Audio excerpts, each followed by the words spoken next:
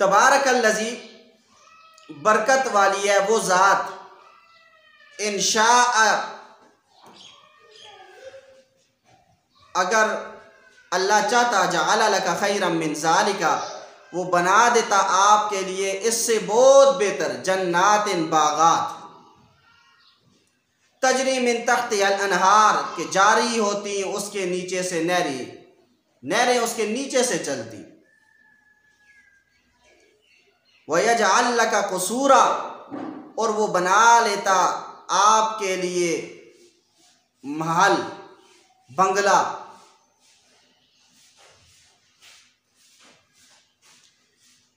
देखिए, इस आयत को समझने से पहले सातवें पारे की एक आयत है, उसके मफहूम को समझ लें ताकि इस आयत को समझना आपके लिए आसान हो जाए।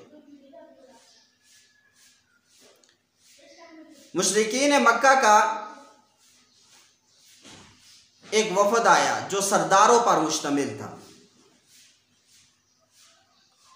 नबी करीम सल्लल्लाहु अलैहि वसल्लम की खिदमत में आया और कहने लगा, अगर आप हकीकतन अल्लाह के रसूल हैं, जैसा कि आप बयान करते हैं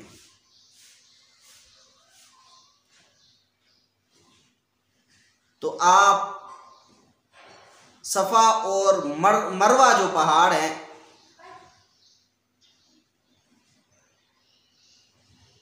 इनको सोने और चांदी का बना दी।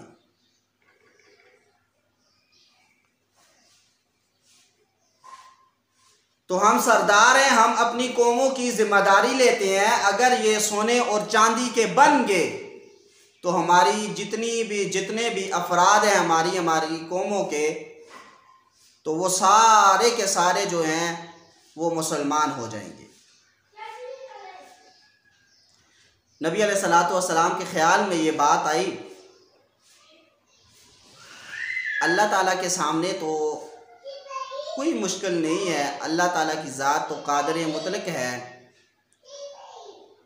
वो तो इसको सोने और चांदी में तब्दील कर सकती है।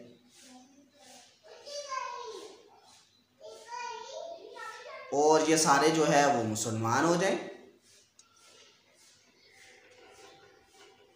तो अल्लाह ताला ने फरमाया व इनकान कबूरा आलई का एराज हम फ़िनस्तात अन तब तगिया नफ़न फ़िल अर्ज़ अवसमन फ़िसमा यौतम भी आया अगर आप पर इनका एराज़ करना, ये शाख गुज़रता है। तो आप ऐसा करें कि ज़मीन के अंदर कोई सुरंग बना लें या आसमान की तरफ़ सीढ़ी लगा दें और फिर इनके लिए आप जाके निशानियाँ ले आए। यानी अल्लाह ताला ने तो इनको ये निशानी नहीं दिखानी। और ना दिखाने के अंदर कई हमतें थी। उनमें से एक हमत मैं आपके सामने पेश करता हूँ। देखें, अगर अल्लाह ताला सफ़ा और मरवा पहाड़ को सोने और चांदी का बना देते तो अब ये बात कहते कहते देखो, ये जो लोग हैं ना, इनके साथ इस वजह से आए हैं, ये बड़े अमीर हैं। माल और दौलत के लिए ये सारे इनके साबी बने हैं।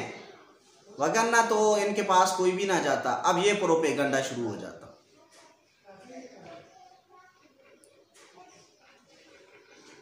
हालाँकि अल्लाह ताला के लिए तो कोई मुश्किल नहीं था इसको सोने और चांदी में तब्दील करना।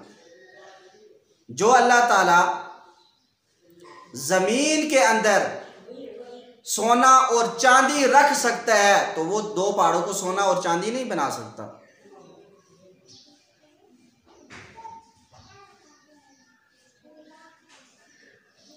तो इस वजह से अल्लाह ताला ने इनके कहने के मुताबिक सफ़ा और मरवा को सोने का नहीं बनाया।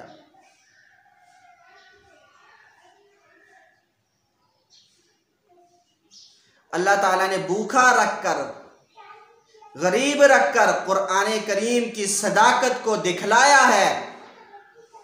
आज भी आप देख लें, अमीर लोगों के बहुत कम बच्चे हैं जो दीन की तरफ़ रागिब हैं।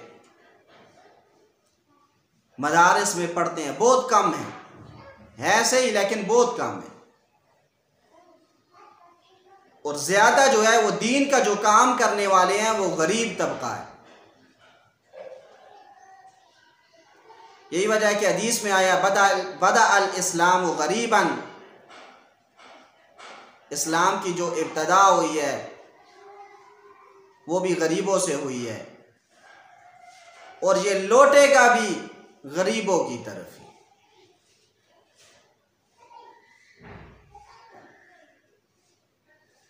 तो इस वजह से अक्सर जो दीन का काम करते हैं, ये गरीब हजरात होते हैं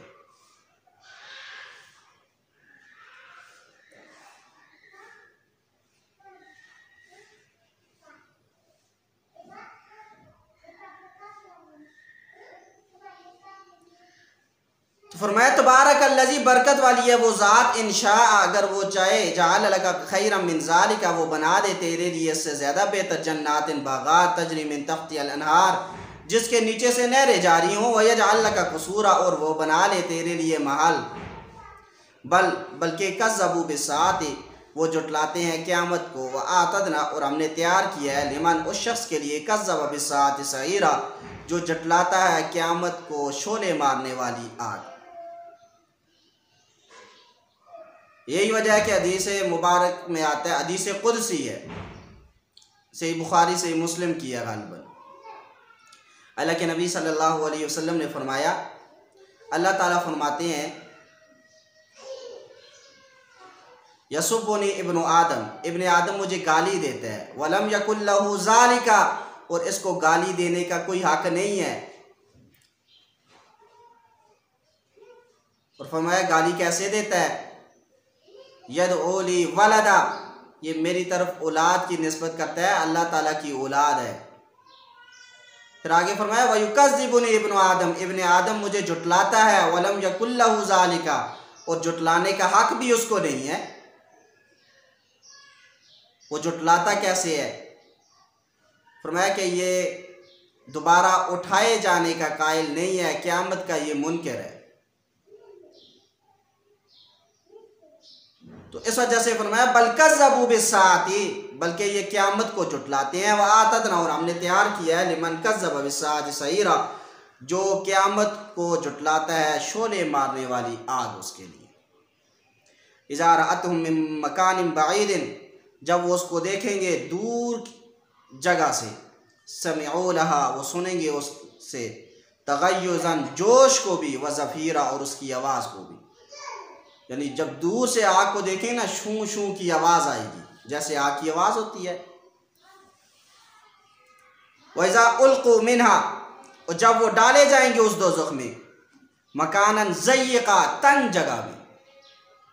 मुकर्रनीना जकड़े हुए होंगे बेड़ियों में। दाऊ होनाली का सबूरा, वहाँ पर वो पुकारेंगे अपनी हलाकत को। लातदुलयम सबूर वाहिदा कहा जाएगा कि आज एक हलाकत को अपने लिए ना पुकारो वद सबूर कसीरा बहुत सारी हलाकतों को अपने लिए पुकारो जहन्नम की आग में जब इनको फेंका जाएगा दुनिया की आग में तो ये है ना एक दफ़ा इंसान को आग लगा दी जाए तो इंसान मर जाता है अगरचे ये आग जो है, ये कम है। जहन्नम की आग जो है, वो उनहत्तर दर्जे इससे जायद है।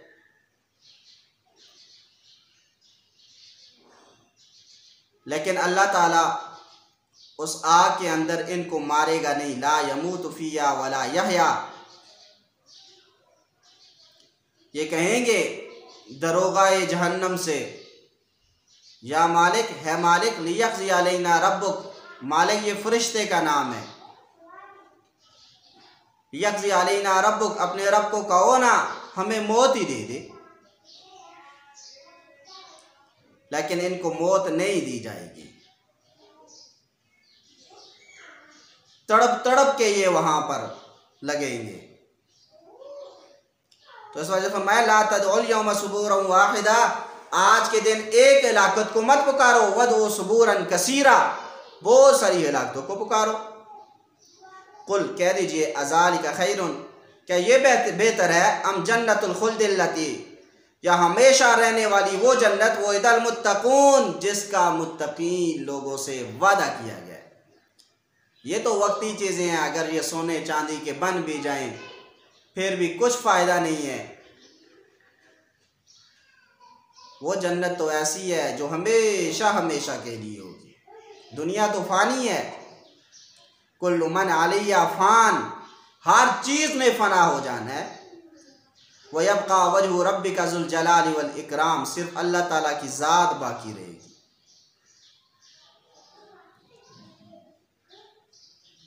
देखिए फरमाया, कुल्लु मन आलिया फ़ान। इस पर एक नुक्ता भी समझ लें।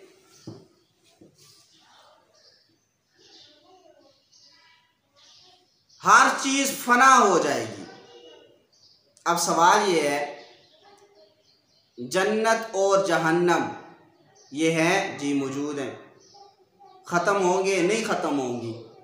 जब ख़त्म नहीं होंगी तो कुल्लु मन आलिया फ़ान, हर चीज़ ने ख़त्म हो जाना है। इसका क्या माना हुआ? आर्श और कुर्सी, ये है, जी है, लेकिन ये ख़त्म होगी, नहीं होगी। जब नहीं होगी, कुल्लु मन आलिया फ़ान का माना क्या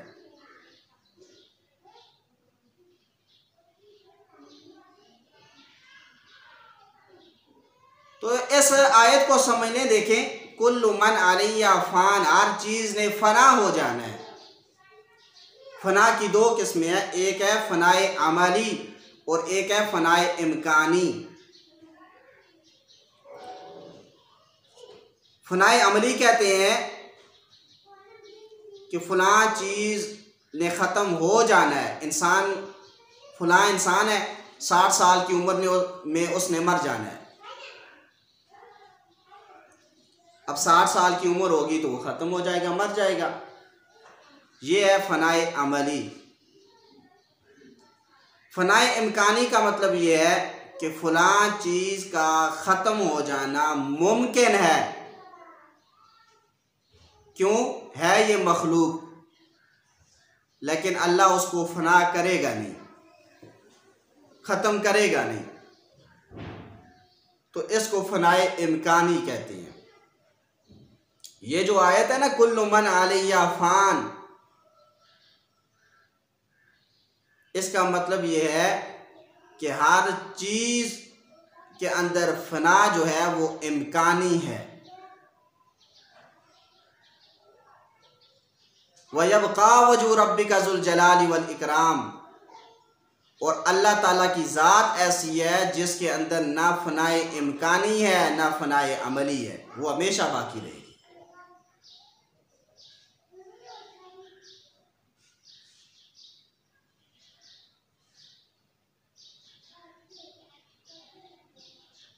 तो इस वजह से फरमाया जाएगा, ला तदोलियम सबूर वाहिदा। आज के दिन एक लाकत को ना पुकारो वद सबूरन, कसीरा, बहुत सारी लाकतों को पुकारो। कुल, आप कह दीजिए अजाल का खैर क्या ये बेहतर है? अम जन्नतुलखुलदिल्लती या वो जन्नत हमेशा रहने वाली, वो इदल मुत्तकून, जिसका मुत्तकियों से वादा किया गया कानत लहुम जजाअन व मसीरा, ये होगा। अलबत् उनके लिए जजान बदला भी व मसीरा, और लौटने की जगह भी।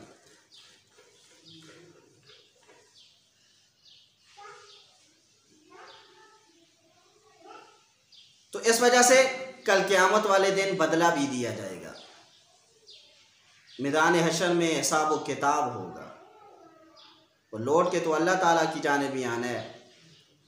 लहुम, उनके लिए फ़िया, उसमें माँ, वो चीज़ होगी, यशाऊन, जो वो चाहेंगे। खालिदीना, हमेशा रहेंगे। काना अला रबी का है आपके रब के ज़िम्मा, वादम मसूला। वादा जिसका सवाल किया जाएगा। अल्लाह ने यह वादा किया है, जो मेरे अहकाम के मुताबिक, मेरे नबी के सुन्नत तरीके के मुताबिक ज़िंदगी गुजारेगा, उसे जन्नत दी जाएगी।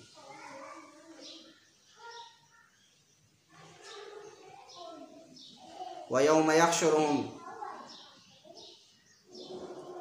और जिस दिन उनको जमा किया जाएगा वमा या बुदूना और जिनकी वो इबादत करते हैं मिंदून अल्लाह ताला से नीचे नीचे फ़यकूलू, बस अल्लाह ताला फरमाएगा अन तुम अजलल तुम इबादी। क्या तुमने मेरे बंदे को, बंदों को गुमराह किया था? हाउलाई इनको अम हम सबील, या वो खुद गुमराह हुए थे सीधे रास्ते से? तुमने गुमराह किया था या ये खुद गुमराह हुए थे? काल वो कहेंगे सुबहान का आपकी ज़ात पाक है। माकाना यम बगीलना अन्न तखीज़ा मिंदूनी का हमारे लिए तो ये मुनासिब ही नहीं था कि हम बनाते आपसे नीचे मिन अलिया कोई कारसाज वगैरह। वला कि मत्ता हूँ लेकिन आपने इनको फ़ायदा पहुँचाया, व आबाहम और इनके अबाउ अजदाद को हती नसुज़िक्रा यहाँ तक कि ये ज़िक्र को भूल गए, ये नसीहत को भूल ही गए। वकानु कौमम बूरा, और ये थी कौमन ऐसी कौम बूरा जो हलाक होने वाली थी। और ये हलाक होने वाली कौम थी।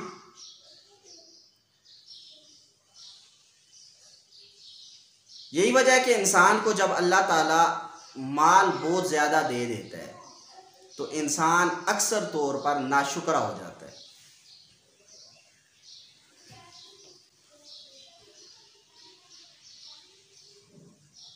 क्यों? जब उसके पास माल ज़्यादा होता है ना, फिर वो बुराइयों के कामों में उसको खर्च करता है। फिर तकबर इसके अंदर आ जाता है। मेरे जैसा तो कोई आया ही नहीं है, आए ना मेरे मुकाबले में कोई।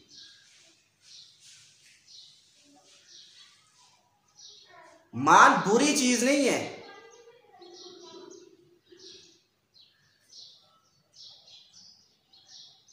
माल को गलत जगह पे इस्तेमाल करना ये बुरा है। इंसान के पास माल हो, अल्लाह के रास्ते में खुले दिल से खर्च करे। कोई गरीब है, उसको दे दे। कोई मोहल्ले में देखा पड़ोसी है हालात ख़राब है, उनकी मदद कर ले। किसी यतीम को देखा, उसकी मदद कर दी जाए। और ऐसे ही मस्जिद में कोई पैसे दे दे। कोई मदरसा है, मदरसे में दे दे।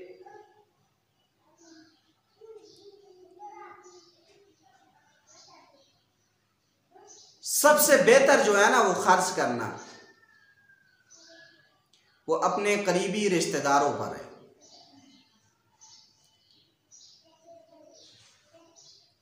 क्योंकि अपने करीबी किसी रिश्तेदार पर अगर वो खर्च करेगा ना माल, अल्लाह ताला उसे डबल अजर अता करते हैं।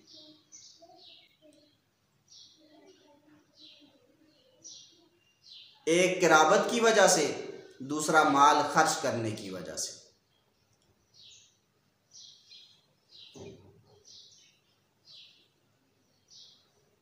बशर्त है कि वो इसका मुस्तक हो।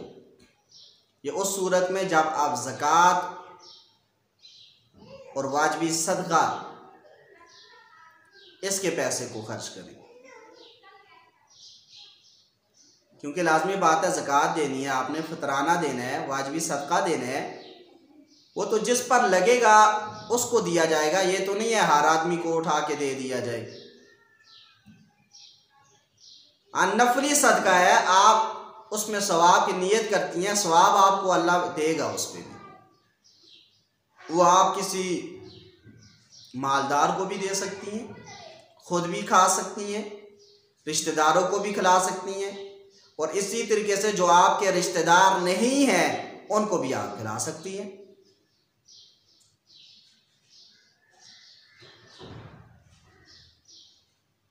इस पर भी सवाब होगा।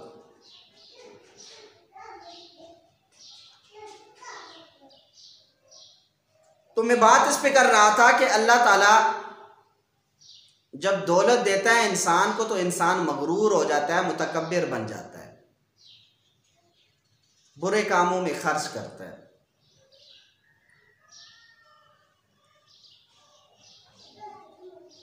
पुराने जब इंसान वाकयात पढ़ता है ना, इंसान की अकल हैरान होती है कि क्या ऐसे लोग भी दुनिया के अंदर मौजूद थे? अल्लाह के नबी सल्लल्लाहु अलैहि वसल्लम अपनी अजवाज मतहरात को पूरे साल का ख़र्चा जो है वो शुरू साल में दे देते थे। तो बीवियाँ भी, भी तो फिर नबी सलाम की थी। हाथ इतना खुला था कि वो सदका कर करके वो ख़त्म ही कर देती थी। फिर फाकों पे फाके करती थी।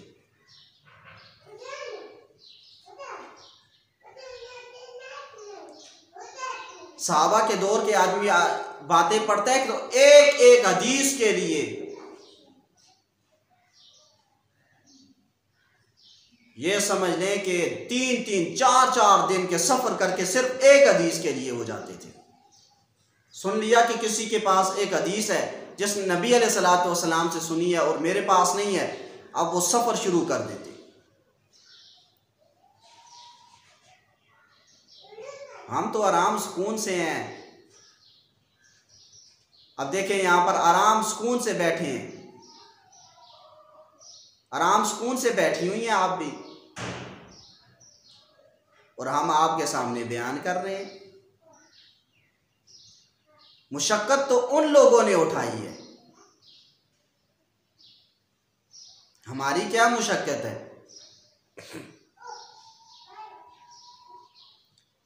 हम तो बैठे रात को दो ढाई घंटे लगा दिए, या एक घंटा लगा दिया, मुताला किया और सुबह आपके सामने बयान कर दिया।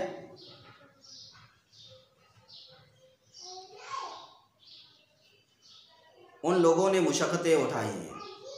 ये दीन वैसे हम तक नहीं पहुँचा, ये बड़ी कुर्बानियों के साथ पहुँचा है।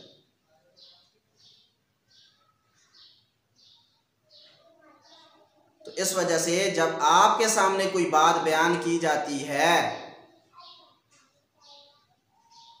तो वो कुर्बानियाँ आप जहन में रखे ना पुरानी तो फिर आपके जहन से कोई बात भी बैर नहीं निकलेगी।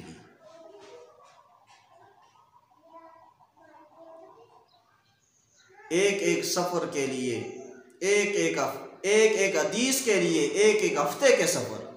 और उस पर जो पैसा खर्च होता होगा, फिर आप अंदाज़ा लगाए स्कूल में देखें, कॉलेज में देखें, हम कितनी फीसें भर भर देते हैं अपनी औलाद की। नहीं, हमने तो कॉलेज पढ़ाना है से स्कूल पढ़ाना है।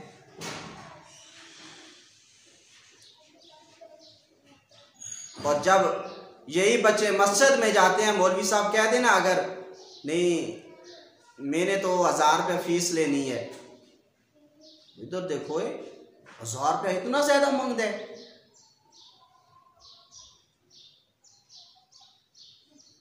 इसका मतलब यह है कि हमारे सामने कुरान करीम की नाउज़बिल्ला कोई हैसियत नहीं है। इंग्लिश पढ़ाने वाले उस्ताद को आप दो, तीन, चार हज़ार रुपये दे देते हैं। लेकिन दीनी तालीम देने वाले के लिए जब हज़ार रुपये का कहा जाए तो आपको पसीने आने शुरू हो जाते हैं।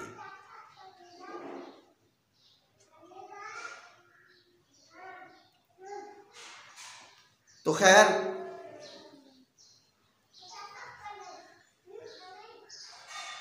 फरमाया खत्ता नसुज़िक्र यहाँ तक कि वो नसीहत को भूल गए। वकान कौम बूरा। और वो हलाक होने वाली कौम थी। फ़कत का जबू कुम पर यकीन उन्होंने चुटलाया है आपको। बीमा बिमा तकूलूना, उन बातों में जो आप कहते हो। फमा तस्तती नसर फन पस वो ताकत नहीं रखते फिरने की, वला नसरा, और न मदद करने की। वमन यज़लिम मिनकुम और वो शख्स जिसने तुम में से जुल्म किया नोज़े को हम उसको चिखाएँगे अजाबन कबीरा, बड़ा अजाब। यहाँ पर भी बाज़ हजरात ने जुल्म से मुराद शिरक लिया है और बाज़ ने इसके अलावा भी लिया है। वमा अरसलना का और नहीं, हमने आपको भेजा कबल का आपसे पहले मिन, वमा अरसलना कबल का और नहीं, हमने भेजा आपसे पहले मिनल मुरसलीना रसूलों को, इल्ला, मगर इन नमलयाकुलून ताम मगर ये कि वो भी तो खाना खाते थे। वयमशून अफिल असवाक, बाज़ारों में चलते थे। वजालना बाज़ लिबाज़ फितना, और हमने बनाया तुम में से बाज़ को बाज़ के लिए आजमाइश। अतस्पिरूना क्या तुम सब्र करते हो? वकाना रब का बसीरा, और है आपका रब जो है बसीरा देखने वाला।